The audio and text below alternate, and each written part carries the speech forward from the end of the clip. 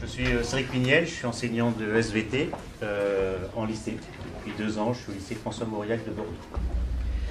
Et je suis engagé cette année dans un projet Saventurier, plus précisément Saventurier du cerveau, depuis euh, la rentrée. Et moi, je suis Fabien, Fabien Aubard. Donc, je suis actuellement chargé de formation pour le programme Les Saventuriers, l'école de la recherche. Programme euh, dont je vais vous parler euh, tout de suite pour que vous ayez quelques éléments de, de repère et de cadrage par rapport à la proposition qui est celle euh, des Saventuriers, l'école de la recherche. Alors, les, Saventuriers, c'est un programme qui est né en 2013 à partir d'une première proposition pédagogique qui est celle de notre directrice, Ange Ansour, qui était à l'époque maîtresse dans une école de cycle 3, un CM1, CM2 à Bagneux. Euh, elle a tenté quelque chose, Ange Ansour, dans sa classe. Elle a mis, comme beaucoup d'entre nous, un, ont pu le faire déjà une fourmilière, hein, on utilise parfois des phases, mais voilà, elle a mis une fourmilière en classe, puis elle a laissé un petit peu voir ce qui, ce qui se passait au niveau des réactions des élèves. Et il se trouve que les élèves ont été surpris par un type de comportement de cette fourmilière et ils se sont posé la question, ils ont très normalement posé la question à la maîtresse pourquoi est-ce que les fourmis font ça? La maîtresse était bien embêtée parce que Janson n'est pas myrmécologue, c'est comme ça qu'on appelle les spécialistes des fourmis. Elle n'est pas myrmécologue de forme. moi aussi je l'ai appris ce mot-là et du coup j'adore le redire encore et encore. Elle n'était pas du tout myrmécologue de formation, ni même scientifique. hein. Euh, Moi je ne le suis pas euh, non plus. Tendance à dire qu'on est un peu des imposteurs chez les aventuriers. Euh, et elle s'est dit, en bonne maîtresse, elle s'est dit pas de problème, je vais revenir demain, je vais chercher la réponse, je vais me documenter, et puis j'expliquerai aux élèves euh, pourquoi est-ce que ces, fourm- ces fourmis réagissent de cette façon-là. Manque de bol, elle n'a pas trouvé. Mais euh, elle n'a pas abandonné l'affaire comme ça. Elle a pris contact avec des scientifiques, des spécialistes des fourmis, vous vous souvenez? Des myrmécologues, et elle s'est dit, eux vont pouvoir apporter une réponse, et moi je retournerai tranquillement dans ma classe de bagneux demain, et je vais leur donner la réponse. Manque de bol, ou plutôt gros coup de chance pour avoir un vrai tremplin pédagogique, les myrmécologues n'avaient pas non plus la réponse sur le comportement de cette colonie de fourmis euh, à ce moment-là. Qu'est-ce qui s'est passé? Les élèves ont dit, bah, alors attention, ça je vous fais la version enjolivée, hein, ça c'est pour le teaser. Les élèves ont dit, maîtresse, et si nous on essayait de trouver une réponse à cette question? Comme elle avait pris contact avec des myrmécologues, il y a des scientifiques enthousiastes, des chercheurs qui ont dit on va accompagner la classe dans euh, la recherche, la quête de cette réponse, en tout cas d'éléments de réponse. Et puis ils ont imaginé avec ces élèves de 10-11 ans tout un protocole de recherche qui leur permettrait de comprendre pourquoi euh, les fourmis adoptaient ce comportement-là. Il y a eu bien entendu une phase d'état de l'art, il y a eu des questionnements, il y a eu tout en fait une démarche qui est exactement celle de, des chercheurs. Euh, du coup, ils ont fini par trouver des éléments de réponse qu'ils ont présentés lors d'un congrès en fin d'année. Donc, voyez, on pousse vraiment le paradigme de l'apprentissage par la recherche euh, jusqu'au bout. Et euh, Ange Ansour s'est dit, euh, avec quelqu'un qui l'avait rejoint dans, dans- l'aventure, qui avait été très très intéressé par l'expérimentation, qui est quelqu'un que vous connaissez peut-être, qui s'appelle François Tadei, euh, qui est actuellement le directeur du Centre de recherche interdisciplinaire et qui l'a accompagné dans cette aventure à la fois scientifique et pédagogique. Et euh, du coup, ils ont extrait une espèce de modèle, de proposition pédagogique qu'on appelle aujourd'hui l'éducation par la recherche. En gros, moi je vais le dire avec mes mots qui sont beaucoup plus triviaux. Je suis un maître d'école, donc euh, il faut pas trop m'en demander non plus. hein. Euh, L'idée, c'est que on va jouer aux jeunes chercheurs dans la classe et on pense que en endossant ce rôle de recherche, en, allant du côté de la méthodologie et des enjeux de la recherche appliqués dans la classe, on va pouvoir euh, construire des parcours d'apprentissage, euh, d'apprentissage avec les élèves pour atteindre des savoirs productifs et efficients. Euh, donc, on s'est dit pourquoi est-ce qu'on va se limiter euh, aujourd'hui euh, à la myrmécologie hein, ou, ou aux sciences du vivant? On va aller voir un petit peu plus loin. Et de là sont nés toute une série de projets qui sont aujourd'hui les projets qu'on propose dans les aventuriers. Ils sont au nombre de 8. Si j'arrive à vous le dire, je crois que ce matin, on a une proposition autour de la mémoire. Je ne sais pas si je vais pouvoir restituer aujourd'hui ces 8 projets, mais je pense que on est sur les aventuriers du cerveau. Ça, va être la proposition de Cédric. On va être sur les aventuriers, ah, déjà, hein, la pression, de la climatologie.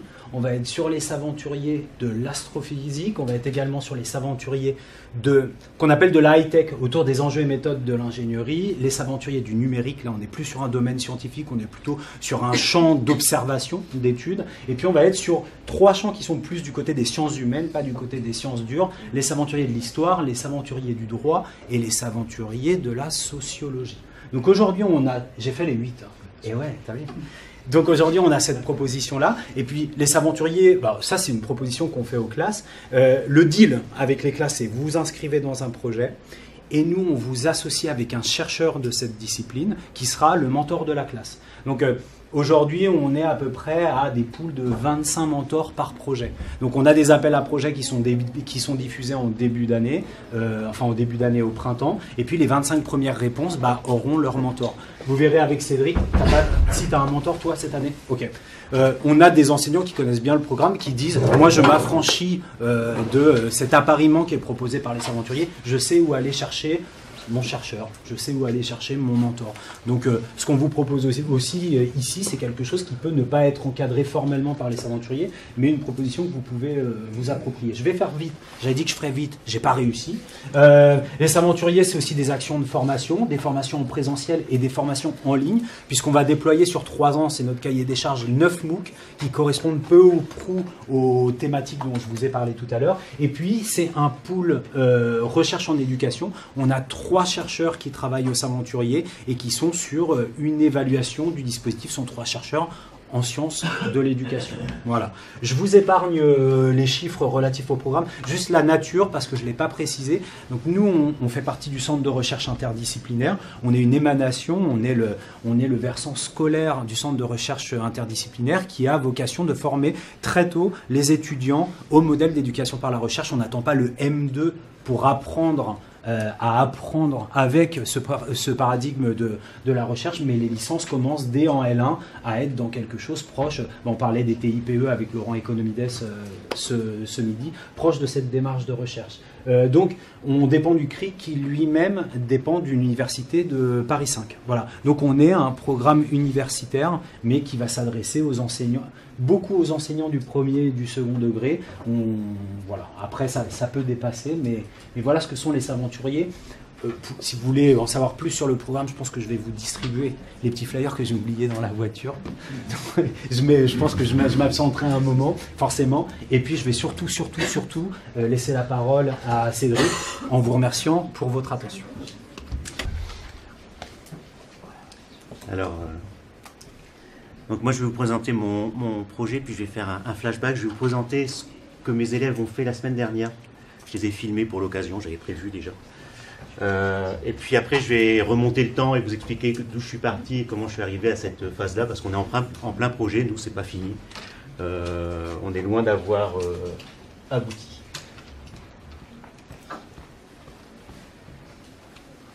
Donc la vidéo va bouger un peu parce que des fois, j'ai du mal à déléguer et j'ai pas pensé à dire à un élève tiens filme pendant que je, les regarde. Alors des fois, je, filmais, puis des fois, j'avais tendance à leur parler, donc ça, on voit plus que leurs cheveux. Mais bon.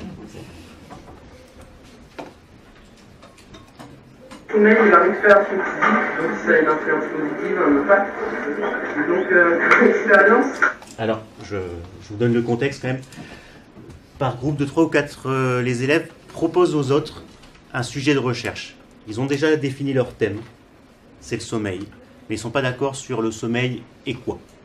Donc euh, chacun a réfléchi, puis j'avais des groupes qui ne se mettaient pas d'accord, donc j'aurais dit m'a présenter euh, au reste du groupe pourquoi travailler le sommeil et, et là c'est le sommeil et la récupération physique. Euh, on prévu en fait pendant une semaine, chaque soir, on fait une activité euh, simple, du gainage, des pompes, des abdos, adapté à chacun. Euh, le temps, voilà, j'organise, je ne peux pas faire euh, le même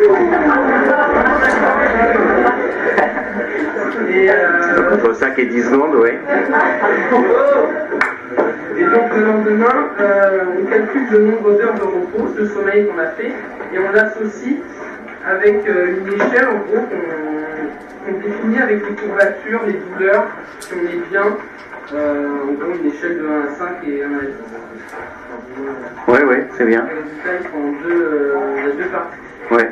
Et euh, donc on fera un tableau pour voir les résultats. Et aussi s'il y avait une accumulation, on va faire ça sur 7 jours, est-ce que les douleurs ressenties sont plus fréquentes en fin de semaine après avoir euh, tu peux préciser cette histoire de, résultat en deux parties, euh, échelle euh, sur 5, échelle sur 10 Qu'est-ce que tu entends par là? En fait, il y aurait la partie où on évalue notre bien-être le lendemain, et la deuxième partie, le nombre d'heures de sommeil qu'on a eu. D'accord, ok.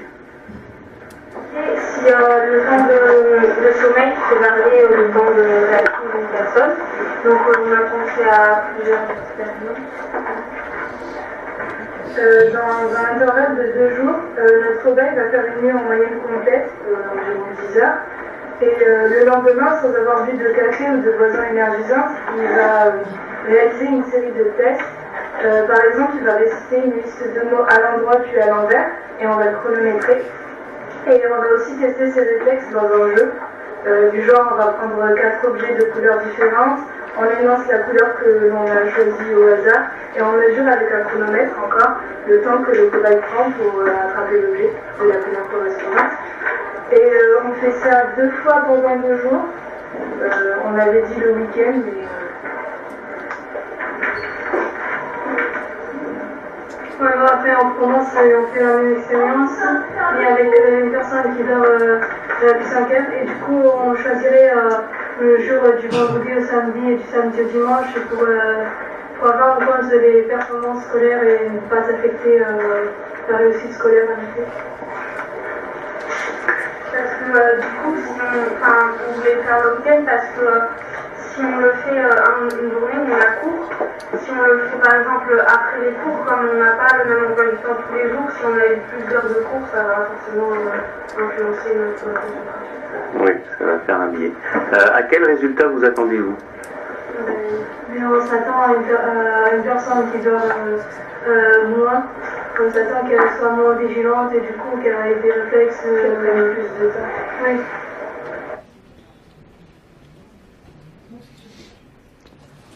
Voilà où nous en sommes euh, actuellement avec euh, mes élèves. Alors, je remonte maintenant en arrière, il y a 7-8 mois. Euh, je venais d'arriver en lycée, j'étais auparavant au collège, et puis j'avais déjà eu une classe de première S, et je savais qu'au lycée, on a l'accompagnement personnalisé. Et généralement, en, filière scientifique, l'accompagnement personnalisé, est utilisé pour faire de la méthodologie, apprendre à apprendre, apprendre à communiquer, etc. Et euh, je trouvais intéressant d'associer toutes ces compétences d'apprentissage sur un projet. Et je connaissais déjà les Saventuriers, parce que j'avais un peu participé auparavant au collège. Et donc, euh, en avril, quand j'ai vu passer euh, les, les, appels des Saventuriers pour des propositions de projet, je me suis inscrit. Et donc, j'ai pu commencer, j'étais sélectionné, j'ai donc pu commencer mon projet en septembre en étant professeur euh, de cette classe et professeur principal, donc en ayant une heure euh, d'accompagnement personnalisé par semaine. Voilà. Parce que une des contraintes, euh, Fabien l'a dit, ça s'adresse surtout aux, primaires. au secondaire, on a une contrainte qui est la contrainte de temps. Quand placer ce projet? Il y a des champs libres avec les, épis ou, la paix, mais c'est quelque chose qui se prévoit souvent à l'avance. Je pense que c'est difficile de se lancer dans un projet euh, en septembre. Il vaut mieux le prévoir avant. Donc j'avais prévu ça avant et en septembre on a pu commencer. Et euh, j'ai présenté le, thème euh, à mes élèves. J'étais assez sûr de moi à ce moment-là, je savais où j'allais, j'avais déjà en tête toutes les compétences que je voulais travailler, la communication, la coopération, euh, proposer un protocole, euh, manipuler, euh, rencontrer des chercheurs, découvrir le monde de la recherche pour de l'orientation. Tout ça a été très balisé dans mon esprit. En septembre, en leur proposant le projet, je leur ai défini assez bien ce qu'on allait faire, mais je suis resté assez flou sur le thème. J'ai parlé de s'aventurier du cerveau. J'ai peut-être parlé de neurosciences, mais très bas. seulement ceux du premier rang ont entendu. Et puis je leur ai demandé, bah, ils étaient enchantés, puis je leur ai demandé, mais est-ce qu'ils sont polis. Et je leur ai demandé, mais qu'allons-nous étudier? Qu'est-ce que vous auriez envie d'étudier? Et là, ça c'est compliqué parce que bon, le cerveau, d'accord, mais quoi? Alors, J'aurais demandé des mots-clés. Voilà. Euh, seul, individuellement et par écrit, parce que on sait ce que c'est dans une classe, hein, il suffit qu'il y en ait un qui sorte les cyborgs pour que d'un seul coup j'en ai 30 qui trouvent que les cyborgs c'est une super idée et qu'eux aussi y avaient pensé. Et on a eu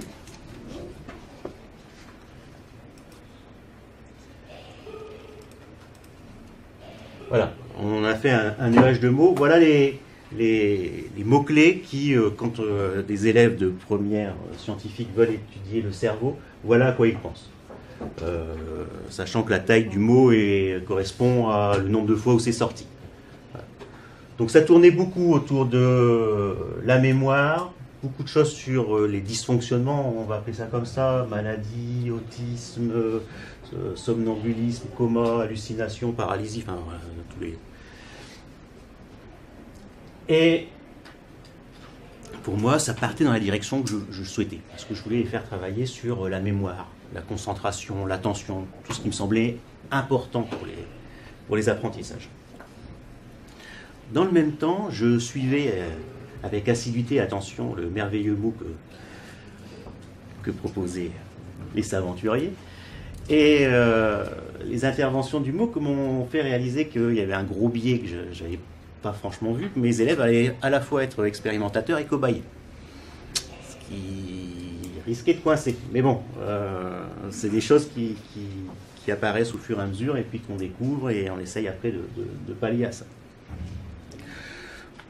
À raison d'une fois par semaine, une heure par semaine, on avançait notre petit bonhomme de chemin. Euh, je leur ai proposé de commencer un peu à faire de la recherche d'information.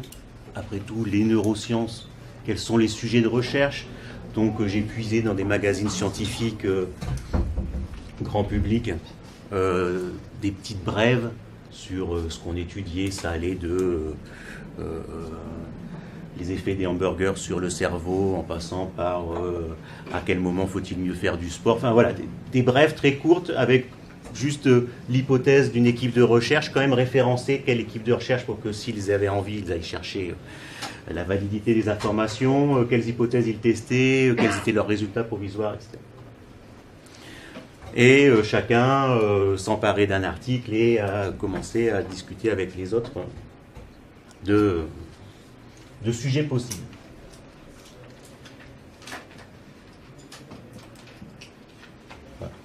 Voilà, il y avait euh, un peu de cybernétique avec euh, les, les, paralysies, euh, un peu de neuroéducation sur les neuromythes, quelques petites choses sur le sport et le sommeil.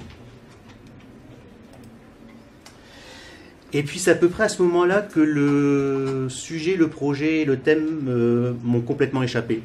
Et que pour le coup, ils m'ont carrément hacké le projet, parce que moi j'avais un truc hyper scolaire. Et euh, on était à peu près à la Toussaint, et là ils ont commencé euh, en discutant euh, par groupe, puis par demi-groupe, puis par classe entière, est arrivé un thème qui était là par petites touches depuis septembre, mais qui d'un seul coup est arrivé, le sommeil. Ils m'ont dit ça, c'est super comme thème de recherche, le sommeil. Alors moi je me suis dit, bon, en classe, j'en ai quoi Deux, trois qui dorment, mais euh, pas, tous. J'espérais, j'en voyais quand même qui essayaient de lutter. Euh, et, là, je commençais à avoir des, de, grosses réticences sur euh, ce thème-là du sommeil parce que c'est quelque chose qui m'échappait à moi en tant qu'enseignant qui voulait faire les choses au sein de sa classe euh, à des heures bien définies, le jeudi de 8h à 9h. Et là, le sommeil, c'est un truc qui, m'échappait complètement. En plus, j'avais pas franchement foi en eux. Hein. C'est des élèves, c'est des ados. Alors, oui, oui, on étudie le sommeil, ça tient deux jours et puis après on oublie. Hein, voilà. Je j'ai vraiment beaucoup de réticence. En plus, je trouvais que c'était quelque chose qui touchait à l'intime. Euh, euh, le sommeil plus que la mémorisation ou l'attention. Là aussi, euh, les discussions avec euh, les aventuriers et le mentor, parce que j'avais une, chercheuse en neurosciences de l'université de Poitiers qui était avec moi. Alors pour l'instant, elle n'a toujours pas rencontré les élèves, mais elle nous a rencontré, m'a rencontré moi. Donc elle a pu me dire de toute façon, quand on étudie le cerveau, c'est toujours, ça touche toujours à l'intime. De toute façon, quel que soit le sujet, après, il y a plein de moyens, l'anonymat, etc., qui permet. Donc, j'ai commencé à négocier avec eux, parce que je sentais le truc partir quand même. Je leur ai dit, ben voilà, on arrive à la Toussaint, on va vérifier vous allez mesurer votre sommeil pendant toutes les vacances. Je ne suis pas là, je ne vais pas vous envoyer des mails ou des rappels sur Pronote pour dire attention, il faut mesurer, etc. Et puis on va voir au bout de 15 jours ce que vous avez fait. Je leur ai cité deux, trois euh, outils, des carnets de sommeil euh, qui existaient. Certains ont dit on va utiliser les, applications euh, hyper efficaces, iPhone, etc. Je mesure mon sommeil. Donc là, il y a eu les l'alarme éducateur qui s'allumait. Attention, onde, mettez en mode avion, hors de question. Et à la rentrée, donc j'étais persuadé que ça ne marchait pas. Et à la rentrée, ils sont arrivés, les 34, avec leur carnet de sommeil rempli à fond, avec à quelle heure ils avaient mangé, à quelle heure ils s'étaient réveillés, ce qu'ils avaient mangé, tout. Donc, devant tant de motivation, je n'ai plus que m'incliner. Donc, bah, on est parti sur le sommeil. Alors voilà, sommeil et quoi? Euh, On en est là.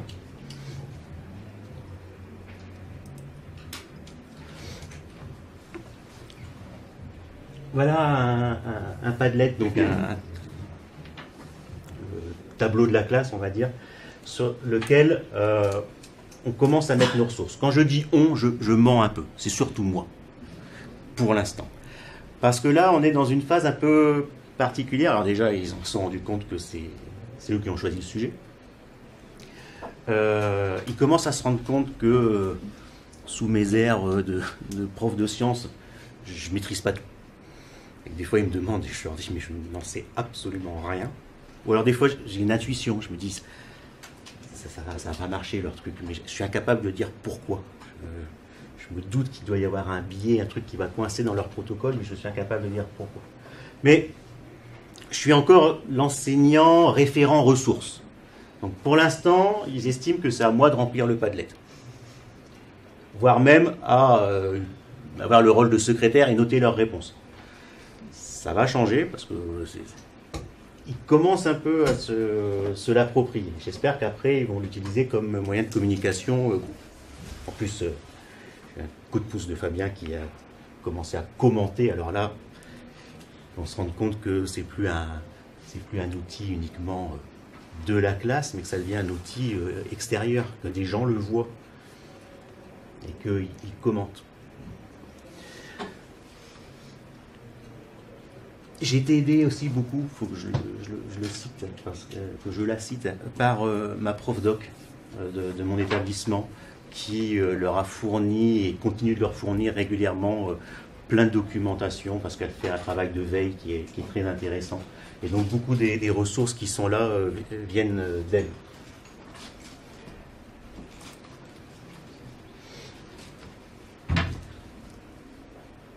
Ils ont donc, là, ça y est, je, suis passé à la vidéo.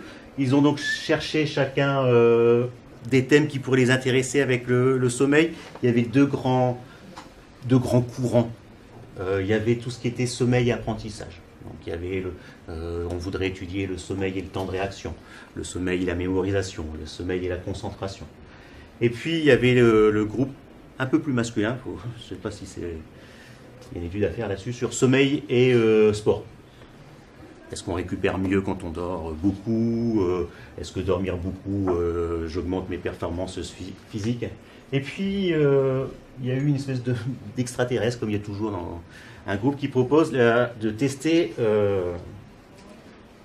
qu'est-ce qui est le plus efficace, la sieste ou la micro-sieste? Vous devinez bien sûr que quand ils ont proposé tous leurs sujets, qu'on est passé au vote, c'est bien sûr sieste et micro-sieste qui a gagné. Donc là, le truc qui m'échappe, mais totalement. C'est-à-dire qu'on est sur du sommeil, on est sur du sommeil euh, diurne, et ils vont euh, tout faire. C'est-à-dire qu'ils vont mesurer eux-mêmes leur propre sommeil. Au réveil, ils vont commencer à dire est-ce que je me sens mieux après 15 minutes ou une heure? Enfin bref, euh, tous les billets possibles en recherche, ils ont réussi à les mettre dans une seule expérience. D'ailleurs, dans les deux vidéos qu'on voit, ils commencent un peu à, proposer des protocoles et ils commencent à réfléchir à des biais. Il y en a qui disent euh, pas de boisson énergisante, euh, on va tous prendre les mêmes, euh, les mêmes groupes. alors, éliminer le maximum de biais, ça venait aussi à des, propositions qui étaient du style Alors le lundi, on dort 8 heures, ensuite on fait une course de 30 minutes. Le mardi, on dort 5 heures, on fait une course de 30 minutes. Le mardi, on dort 3 heures, donc tu... 3 heures. Donc tu vas te lever vers 1 heure du matin pour courir 30 minutes. Autant dire que celui-là, je crois que c'est le nombre de votes, quand les autres ont réalisé qu'il fallait se lever la nuit pour courir, c'est pas intéressant comme thème, ça nous intéresse pas, la performance physique. Bon. Mais voilà, ils, cherchaient, euh, euh, les biais. Là, donc, ils ont choisi évidemment sieste et micro-sieste, mais ils commencent à se rendre compte par eux-mêmes, et c'est là que l'intervention du mentor scientifique va être aussi important. C'est qu'ils vont, se rendent compte que il va y avoir un biais de confirmation qui va être énorme, et que là, il n'y a aucun, contrôle dessus. Donc, ils sont en train un peu de revenir sur euh, leur thème. Je, ne dis, moi à ce moment-là, je ne dis plus rien. Je, je laisse faire, je n'ose même pas les regarder parce que je ne veux pas les influencer. Je ne veux pas avoir cette posture de oh non, non, il faut pas. Je vous ai fait voter, mais en fait, euh, votre vote, il n'est pas terrible. On va en prendre un note. Euh, on en est là. Est-ce que l'expérience est concluante? Je ne peux pas vous dire, je vous dirai ça en avril quand on aura terminé. Euh, pour l'instant, je trouve que, sans forcément qu'ils s'en rendent compte, les, compétences qu'ils sont en train d'acquérir euh, sont, importantes. Et je fais autant de méthodologie et, euh, dans ce projet d'éducation à la recherche sur l'esprit critique. maintenant, ils lisent les, les, titres de certains magazines sur euh, muscler votre cerveau, euh, ou euh, des, choses plus insidieuses. Une équipe a montré que, je ne sais plus, la dernière fois, il y avait un article dans le Huffington Post, la génétique la sélection naturelle et la génétique expliquent la durée des études, quelque chose comme ça. M'ont dit, mais n'importe quoi. Donc il y a, ça qui se met en place. Il y a un travail de, collaboration et de coopération. Euh, pour des élèves, ce sont des lycéens, quand ils n'ont pas toujours euh, été habitués à ce genre de travail, c'est compliqué pour eux de, mettre ça en place. Euh, c'est compliqué pour certains de lâcher leur sujet pour qu'ils deviennent le sujet de tout le monde. voilà, ils, apprennent beaucoup et je me suis rendu compte que ça leur servait pour des, D'autres domaines, les TPE par exemple, parce que j'ai des lycéens, euh, ils réinvestissaient euh, ce qu'ils faisaient euh, dans le projet d'AP des s'aventuriers, réinvestissaient ça dans les TPE. J'en ai vu qui ont commencé à utiliser Padlet. Ils veulent pas utiliser le mien, mais ils, se créent le leur pour un autre thème.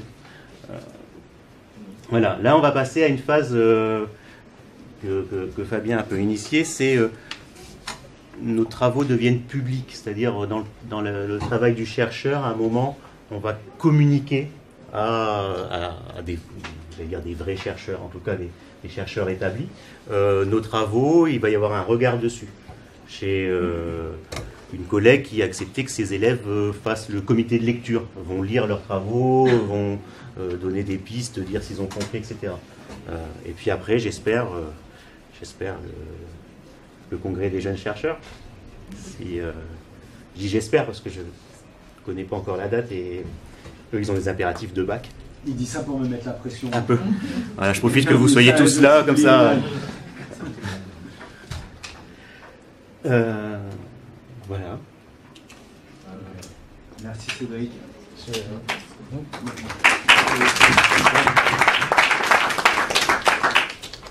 on va vraiment vous libérer à l'heure parce qu'on sait comment ça se passe sur Edos. C'est important que vous puissiez avoir le temps de rejoindre l'autre atelier. Donc, plutôt que de défiler la présentation comme on avait imaginé, si, si tu le permets, Cédric, peut-être euh, vos questions tout de suite euh, pour Cédric. Est-ce que, est que la chercheuse euh, voit le Padlet Oui. Et elle, met des commentaires ou pas, pas encore, parce qu'on attend qu'elle ait un contact avec eux. Pour l'instant, il, alors j'ai de la chance parce que j'ai de la chance parce que je suis à Bordeaux.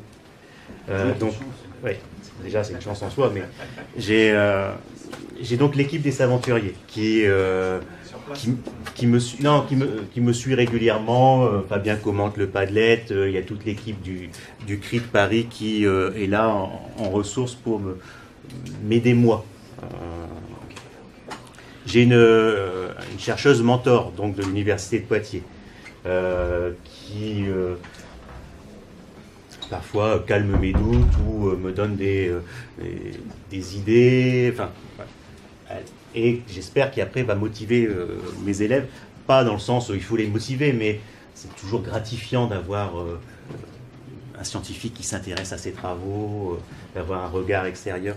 Et puis, euh, comme Bordeaux avec le Neurocampus, etc., il y a eu une action de la, de la DAC, de la Direction des Affaires culturelles du rectorat, qui a initié cette année une action qui s'appelle Cerveau, Mémoire et Apprentissage, parce qu'il va y avoir un, un, congrès de neurosciences à Bordeaux, Neurofrance. Et à travers ça, j'ai rencontré un, chercheur qui travaille spécialement sur le sommeil et qui donc va aussi les rencontrer. Donc là, ça va être local. Et puis j'ai le père d'un élève qui m'a dit ah, mais moi je travaille sur le neurone au neurocampus, s'ils veulent, ils, visitent le, euh, le laboratoire. Voilà. Donc il va y avoir une, une, découverte du monde de la recherche qui me semble à moi fondamentale pour des élèves, euh, pour des lycéens. Parce que